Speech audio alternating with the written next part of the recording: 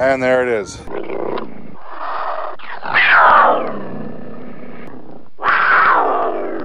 So I think it was about five years or so ago, I was using uh, an ARB fridge, and they're not terrible fridges. They're just not the best fridge on the market. You can look up all the videos you want. Um, pretty much everybody agrees there are a lot of really high-end fridges you can get out there. But I found a far better fridge uh, that you can get in America. And there's a reason I chose to go with this fridge. It's SnoMaster. Now the reason I went with SnoMaster is because I was initially looking at what was considered to be the best in America or the best fridge you can get for overlanding and that type of thing. Um, and that was National Luna at the time. Now, National Luna was a stainless steel fridge. Everybody was like crazy about it. You know, they, they were really expensive and they were like, oh, this is a South African fridge, mate. You know, you gotta have this one. It's legitimate, all the degrees and stuff. Anyway, so I had an ARB at the time.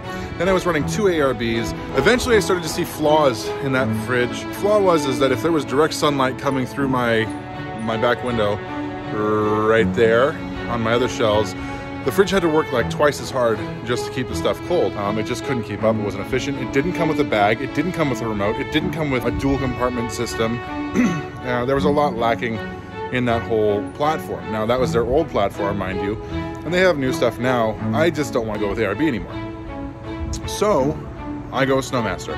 And this is the SnoMaster that I run in my truck. Currently, I'm running it in my garage as just a backup fridge for whenever I keep extra milks and stuff. So it's actually a full-time use fridge right now. You could plug it into the walls in the house and you could plug it into the back of your truck or in your RV or anything you want to do. This is actually their ice maker, it's super awesome. Let's take a closer look at this thing. This here is the next phase of what's going into my truck, uh, just because I'm changing the way I'm storing things. And this trip that we're doing here, this is gonna go in the back of the RV. So this here is my SnoMaster 85D, or the E85D. E stands for Expedition Series. I really have no idea what the difference is between Classic and Expedition. It's probably something super simple that I could just read on the internet. I'm just too lazy. And this thing is the big one. This is the biggest one they have made so far, except for the new low profile.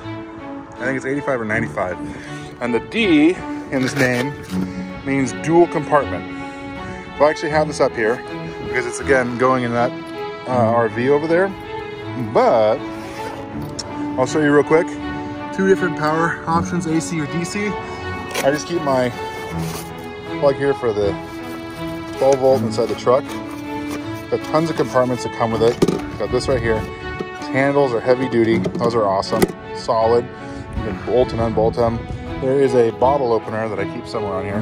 Did I put that thing? Oh, I might have taken it off.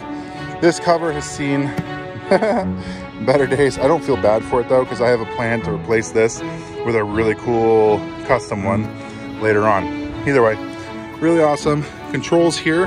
There's also a controller that I keep in my remote, so while I'm driving, I can just beep, beep, beep, beep, beep, push it. Again, that's the thing I really liked about SnoMaster. Not only did it come with a cover, I didn't have to order it like for $100 more, or whatever it is they sold it for, but it came with a remote. And the remote not only let, made it so you could monitor, in this case, both sides of this fridge at the exact same time, but you could set the temperatures remotely on the remote and it came with a flashlight in it and a backlight and the remote didn't need to have batteries put in it when you didn't have to charge it up with a USB cord. It had its own little solar panel and they still do. That's why SnoMaster is better. So getting into the fridge is pretty simple. Big latches, these are heavy duty. Oh, also you can lock them. Just open these things up and then let's do one at a time. Push this out of the way. So just mind you, I'm out here to clean this thing before it goes into that. So this is one side, I got my milk in it. The other side, I got some things and some spilled milk that I have to clean. Yuck, yuck. Anyway, so that's that fridge there. It's really big. Look how big it is compared to my foot. And I have a size 14 shoe. That's a really big fridge. So this is what it looks like without the cover. Stainless steel. They've been doing this the whole time. And the cool thing is, is they have these little latches now. The older ones, they didn't have it, but you just do that. And you slide the doors off. And you can clean out the inside. Pretty snazzy. Anyway, Now I can just go back to cleaning it. And when you're cleaning it out, you just pop these open, like this, boop, boop, and the water drains out. Water goes in, water drains out. And that's how you clean them out. They got gold and I need a sweatshirt and a sandwich for a lunch break. Yay.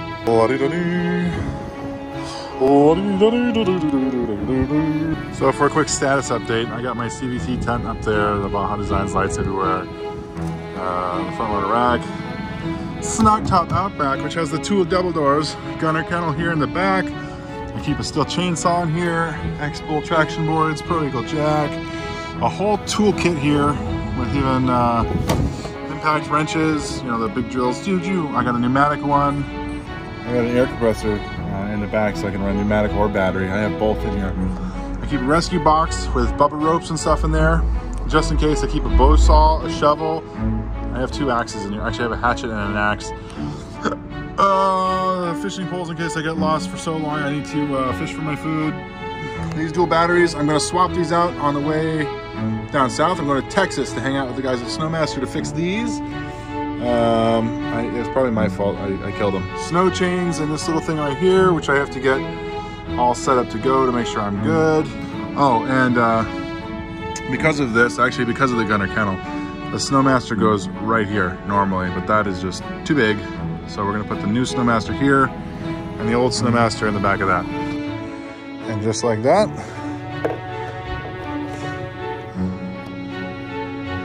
we're done. Just throw it back together. Cool deep basket.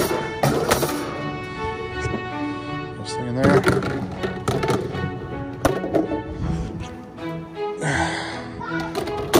I just gotta go put the lids back on. All right, so let's check out the low profile one in three, two, one.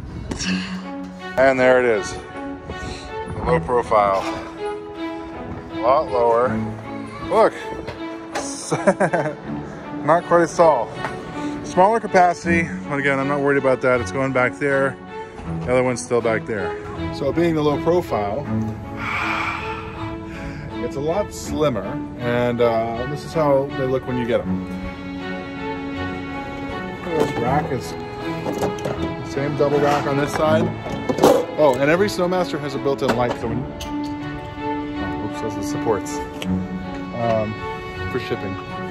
The other one. Got a cool rack in there. I'm excited. This is actually the smallest SnoMaster I've had so far. Um, but I don't need a huge capacity with what I'm doing. I just don't need it. I have all I need right here. I got this one, your little 12 volt, goes into a cigarette lighter. I actually don't know what this is. This must be European or something. I don't know. I don't know. There's this plug, and then there's a typical house plug, 120 volt. That'll go, and that's actually what the other one's running on right now inside there. I'm super excited. This low profile one is easy to use. This right here. All the controls you need are right here. Uh, power it up. And a little fusey bit right here. Same solid handles. This is trash. Um, want to take off all the plastic? That's that. Real simple, real easy. Even this one comes with a solar powered remote charger battery. Everything you need right there. It's awesome. Okay, so that's that. If you're in the market for a fridge, either it's a low profile or the biggest one they have, and this is actually the second largest low profile they have, I believe. Uh, the other one's absolutely enormous.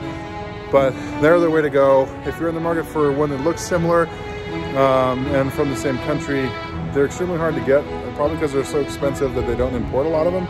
Uh, there are a ton of SnoMasters available. And as soon as things clear up as far as international shipping and stuff like that, um, it should be even easier to get these, but they sell really fast. That's a really high quality fridge right there, and that's what I've had and still have, I wanna say, I have three, but I've had and then given away to friends, probably about five or six. So, SnoMaster, go check them out. And that fits perfectly in the same footprint as my uh, Expedition Series D85, or 85D, sorry.